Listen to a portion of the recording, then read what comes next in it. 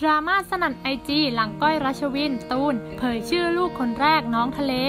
ก่อนอื่นต้องขอแสดงความยินดีกับทั้งพ่อตูนบอดี้สแลมและคุณแม่คนสวยสาวก้อยรัชวิน ที่ได้คลอดลูกชายคนแรกเป็นที่เรียบร้อยแล้ว พร้อมกับตั้งชื่อว่าน้องทะเล โดยแม่ก้อยเผยภาพน้องผ่านทางอินสตาแกรมพร้อมแคปชั่นว่า 5 ตุลาคม